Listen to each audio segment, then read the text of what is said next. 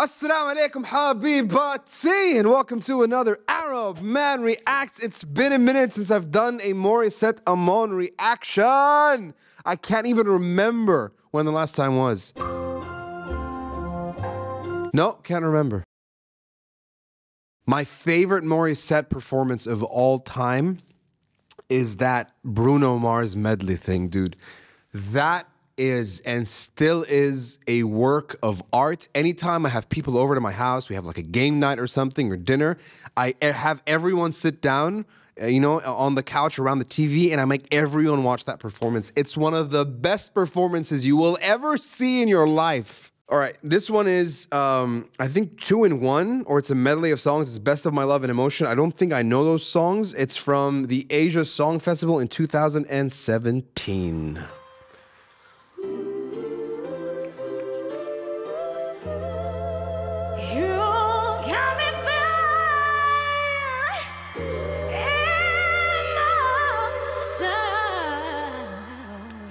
Let's go!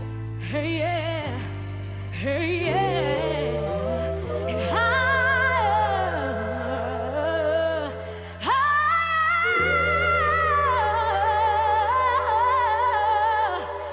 There's there's something about the human voice where you know when it's like warmed up and ready to go. Like usually when you're singing, you know, like two, three songs in, there's some cold songs at the beginning, but then like mid set, your voice is primed. Like it's ready to conquer, right? And that's exactly what her voice sounds like right now. It is ready to conquer anything that comes. You know, she's, oh my God, it sounds so good.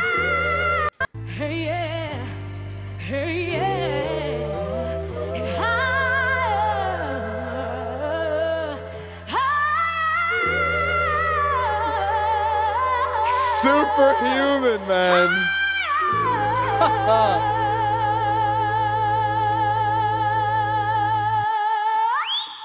What was that?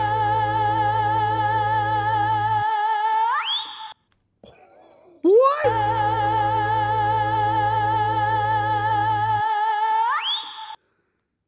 I, I can't tell if that's her voice or, or an instrument. I can't tell.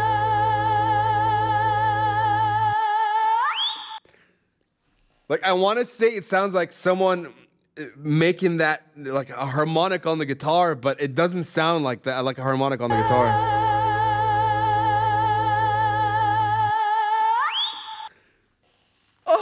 Oh, is it a move over Mariah Carey? Let's do this, come on! Jessica, come! Oh wait, I do know this song. Hello? Right? Is this get a little closer? Let's go! Doesn't take much No, it's not. make me happy. Probably same drum beat.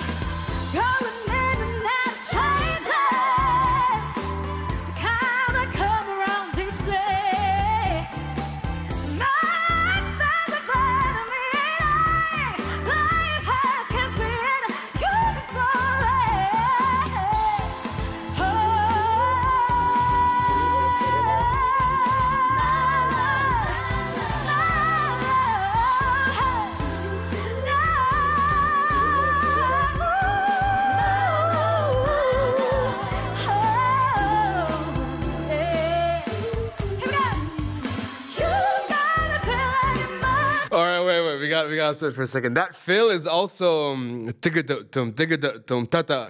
You are my treasure. It's it's a it's a fill that's used a lot. First and foremost, this is 100% completely live. There's no um lip syncing. There's no backtrack. There's none of that. There's a band playing there. There's there's there's a couple of other singers that are doing like the harmonies and like thickening up the choruses and things like that. But it's completely, completely, completely live. It's 100% live.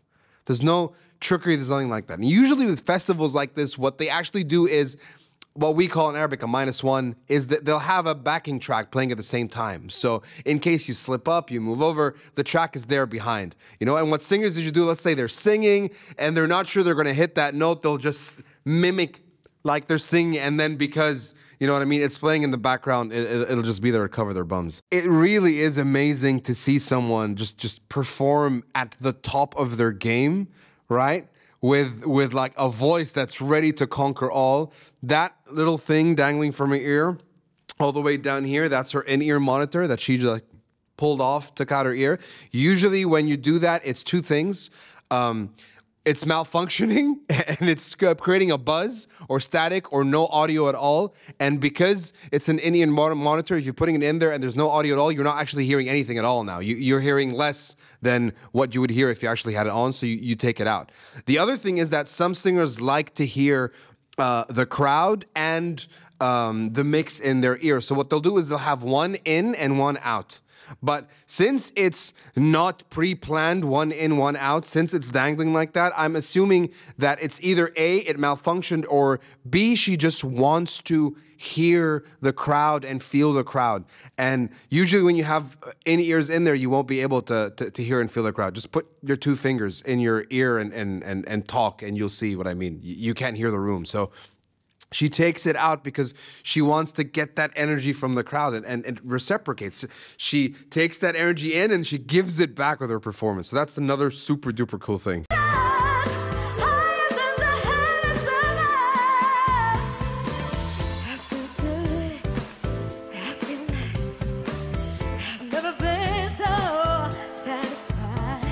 Yeah, there. Look down here. There's someone sitting there. Either someone in the PA booth or or a bandmate. I don't know, but they're having the time of their life. Watch them move their hand around.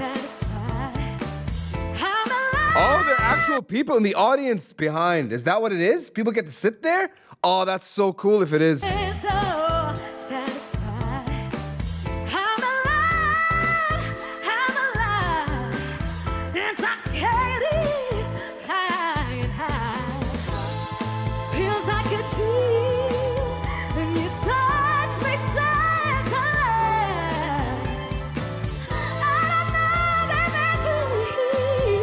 Oh, okay. It only looked like a, a- a- okay, okay. So it's just a long thing, and there's and there's audience on both sides of it. My bad, my bad.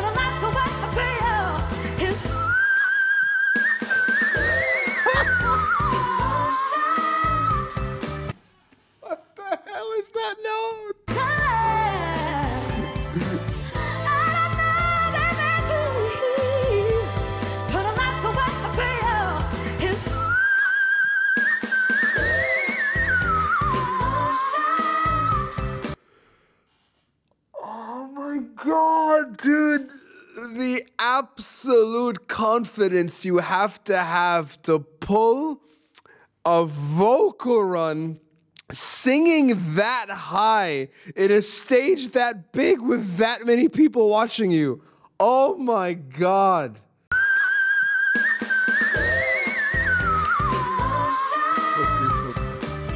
But how do you discover you can sing that high? Like, what happens one day? You're just trying to go higher and higher and higher, and your voice just decides to not crack? and you just keep going, and you're like, oh, I can do that. Oh, yeah, I can do that. You know what? I'm gonna perform and do that. Like, that's the hardest thing in the world to convince yourself to do.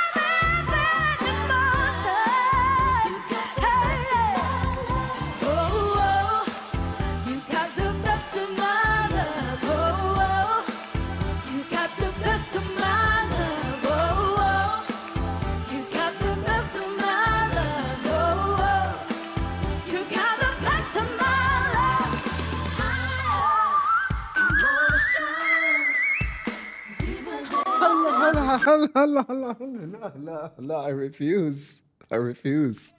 I refuse. No, no, no. This is. I'm gonna start to get angry. That's what's gonna happen when things like this happen. I get angry. This is why I don't react to Dimash. By the way, this is literally why I don't react to Dimash. Every time I react to Dimash, I love him. I love what he does. I think he's God's gift to the world. Right? But every single time, without fail, and listen to Dimash, this happens to me. This happens to me. I get angry. And I know I'm angry. I'm angry because I'm envious. And I'm envious because if you put in all the hours of work, if I put in all the hours of work, if I spent every single day of my life doing nothing else but practicing and practicing and practicing and practicing, nothing else literally with my day, 20 hours a day, sleep for four, and wake up the next day and just practice, I will not be able to hit those notes and do them because this was not created that way. But that was created that way. Dimash was created that way. And to me, it's like, no, I'll never have that. You know? So it gets me riled up. It gets me riled up. That note she hit us in the very beginning of the song was just like a, a, a preview of what she was going to do towards what seems to be the closure of the song. I. oh my God. It's. Inc- it's ah. It's incredible. It's unbelievable. It's envious. It's a gift. It's a ton of talent right? And and not to take away anything from the artist because these people work harder than i will ever work in my life following this thing. So i don't want to sound like that guy because genuinely Yes, God's gift, yes, talent, but you get nowhere if you don't work your ass off doing so. Like they've put in their 10 and 20 and 30, they've put in all the hours, all the hours to actually get this good. I promise you, right? So it's also unfair of me to say it's God's gift. It's it's beyond just God's gift. It's God's gift and doing something with it.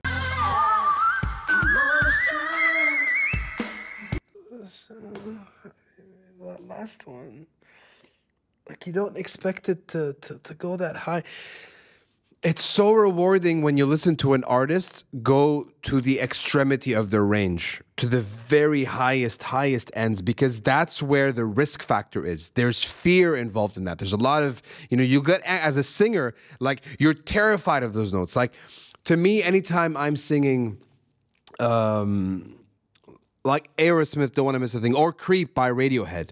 And I get to that point, uh, where it's like, she's running out, like that really high part. And I, I every single time without fail, I'm about to do it because I sing it very high. I go to the very, the, the highest point that my voice can get to.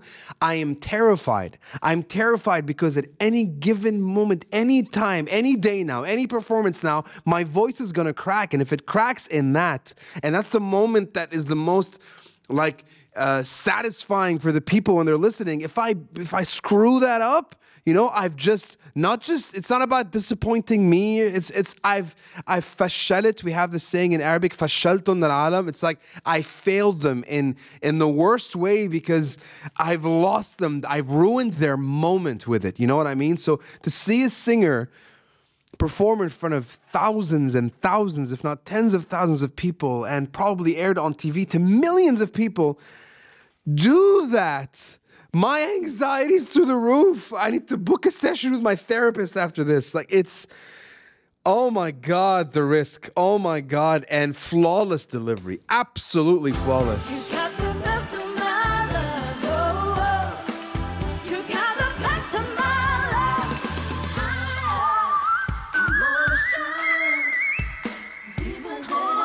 And the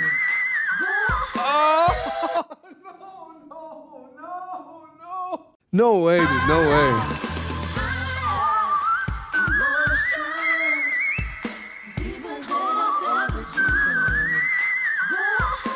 How do you sustain? How do you sustain that note? How do you sustain that note? You're doing a vocal run that uh, in one in one. How are you sustaining that note? Like I know how this thing works. I've been using it my whole life. I can't imagine it. I can't imagine what's going on here for you to actually do that. I can't. Oh my god.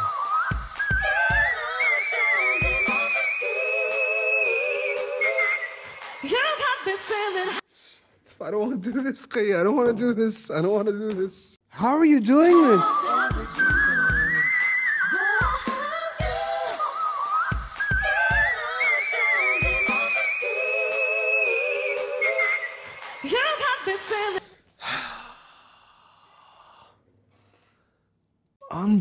Unbelievable. It's unbelievable. Like i see it and and and i just i, I comprehend it.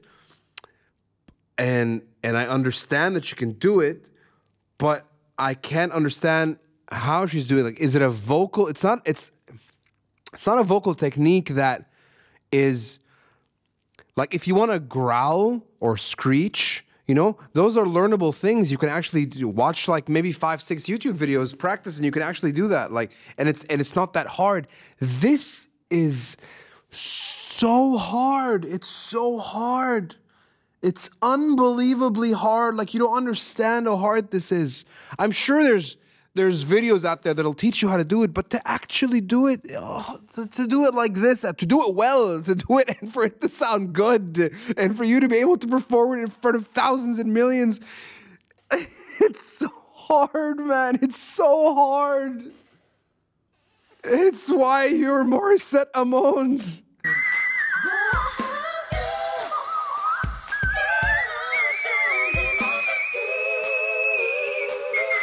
No way, no way.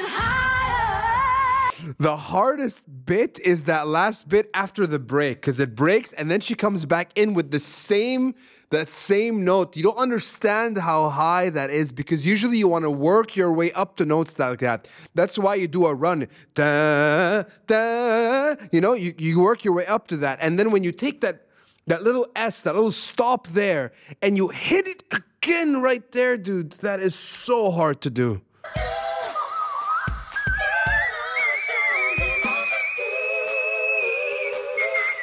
You got me feeling higher. I bow to you. You are.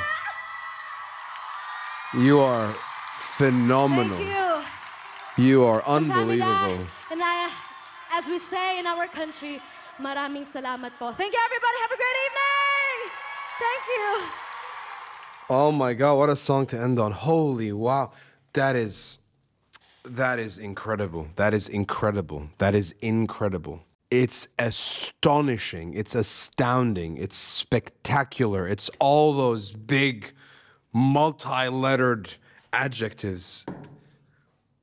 After I send this to Ramsey, and while he's editing it, I know he's gonna call me and be like, "What the heck is this?" And we're gonna have a conversation about that and we're just going to discuss the impossibility of, of what we just watched. Only music can can do this to me. Only music can do this to me. I love you, Pepko Niktir. Thank you so much for recommending this over on on on Patreon. And you know, I don't know if you you you you, you thought this was gonna do me like this, but if you did, you got me. I'll tell you that. Pepko Niktir. I'll catch you all in the next one. Enjoy the rest of your day.